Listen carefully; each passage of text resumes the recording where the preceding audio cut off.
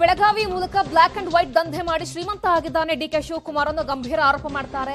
ನನ್ನ ಸೀಡಿಗಾಗಿ ನಲವತ್ತು ಕೋಟಿ ರೂಪಾಯಿಯನ್ನು ಖರ್ಚು ಮಾಡಿದ್ದಾನೆ ಡಿಕೆಶಿ ನೂರ ಇಪ್ಪತ್ತಕ್ಕೂ ಹೆಚ್ಚು ದಾಖಲೆಗಳಿವೆ ಅನ್ನೋ ವಿಚಾರವನ್ನ ಆರೋಪಗಳ ಸುರಿಮಳೆಯನ್ನ ಮಾಡಿದ್ದಾರೆ ರಮೇಶ್ ಜಾರಕಿಹೊಳಿ.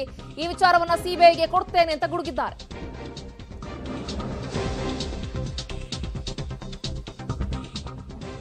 ಹತ್ತು ಸಾವಿರ ಕೋಟಿ ಫೈಲ್ ಅನ್ನ ಕ್ಲಿಯರ್ ಮಾಡದೇ ಇರೋದು ಇದೆಲ್ಲದಕ್ಕೂ ಕಾರಣ. ನಾವು ಇಬ್ರು ಚೆನ್ನಾಗೇ ಇದ್ವಿ. ಆದ್ರೆ ಕೆಲವೊಂದಿಷ್ಟು ವಿಚಾರಗಳಿಂದ ಈ ರೀತಿಯಾಗಿ ಆಗಿದ್ವಿ ನಾವು ಅಂತ ಹೇಳ್ತಾರೆ.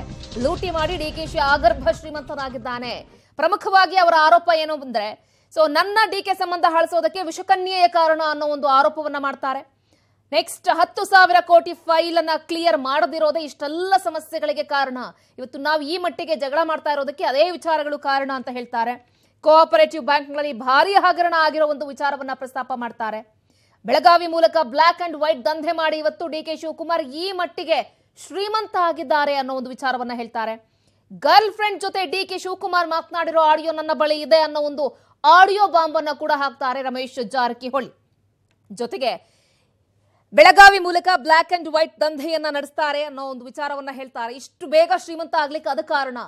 ಜೊತೆಗೆ ಗರ್ಲ್ ಫ್ರೆಂಡ್ ಜೊತೆಗೆ ಡಿ ಕೆ ಶಿವಕುಮಾರ್ ಮಾತನಾಡಿರೋ ಆಡಿಯೋ ಇದೆ ಅನ್ನೋ ಒಂದು ಬಾಂಬ್ ಅನ್ನ ಸುದ್ದಿಗೋಷ್ಠಿಯಲ್ಲಿ ಮಾತನಾಡುವಂತಹ ಸಂದರ್ಭದಲ್ಲಿ ರಮೇಶ್ ಜಾರಕಿಹೊಳಿ ಅವರು ಹೇಳ್ತಾರೆ ಗರ್ಲ್ ಫ್ರೆಂಡ್ ಜೊತೆ ಡಿ ಕೆ ಮಾತನಾಡಿರೋ ಆಡಿಯೋ ಇದೆ ಅನ್ನೋ ಒಂದು ಆಡಿಯೋ ಬಾಂಬ್ ಅನ್ನ ಯಾವಾಗ ಸುರಿಸ್ತಾರ ನೋಡಬೇಕು.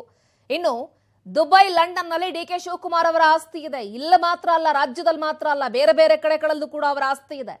ಸಿಡಿಗಾಗಿ ಬರೋಬ್ಬರಿ ನಲವತ್ತು ಕೋಟಿ ರೂಪಾಯಿಯನ್ನು ಖರ್ಚು ಮಾಡಿದ್ದಾರೆ.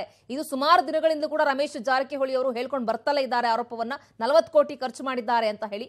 ಇನ್ನು ಲೂಟಿ ಮಾಡಿಯೇ ಈ ರೀತಿ ಡಿ ಕೆ ಶಿವಕುಮಾರ್ ಆರ್ಗ, ಆಗರ್ಭ ಶ್ರೀಮಂತ ಆಗಿರೋದು ಅನ್ನೋ ದೊಡ್ಡ ಮಟ್ಟದ ಆರೋಪವನ್ನ ರಮೇಶ್ ಜಾರಕಿಹೊಳಿ ಅವರು ಇವತ್ತು ಮಾಡಿರೋದು. ಲೂಟಿ ಮಾಡಿ ಮಾಡಿ ಡಿ ಕೆ ಶಿವಕುಮಾರ್ ಈ ರೀತಿಯಾಗಿ ಆಗರ್ಭ ಶ್ರೀಮಂತನಾಗಿ ಬೆಳೆದಿದ್ದಾನೆ. ಡಿ ಕೆ ಶಿ ಸಿಡಿ ಷಡ್ಯಂತ್ರದ ಬಗ್ಗೆ ನೂರ ಇಪ್ಪತ್ತು ದಾಖಲೆಗಳಿದೆ. ರಾಜಕೀಯಕ್ಕೋಸ್ಕರ ನನ್ನ ಜೀವನವನ್ನು ಆತ ಹಾಳು ಮಾಡಿದ್ದಾನೆ. ನನ್ನ ರಾಜಕೀಯ ಜೀವನದಿಂದ ಈ ಮಟ್ಟಿಗೆ ನಾನು ಮುಜುಗರವನ್ನು ಅನುಭವಿಸ್ಲಿಕ್ಕೆ ಆತನೇ ಕಾರಣ.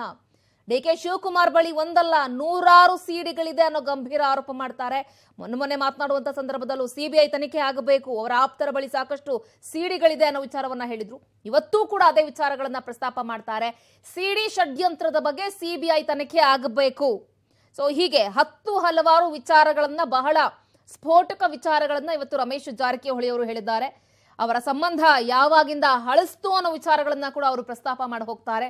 ಜೊತೆಗೆ ಡಿ ಕೆ ಶಿವಕುಮಾರ್ ಅವರು ಇವರ ಸಿಡಿಯನ್ನ ಮಾಡಲಿಕ್ಕೆ ಎಷ್ಟು ಖರ್ಚು ಮಾಡಿದ್ದಾರೆ? ಆಗರ್ಭ ಶ್ರೀಮಂತ ಆಗ್ಲಿಕ್ಕೆ ಏನೆಲ್ಲ ಮಾಡಿದ್ದಾರೆ?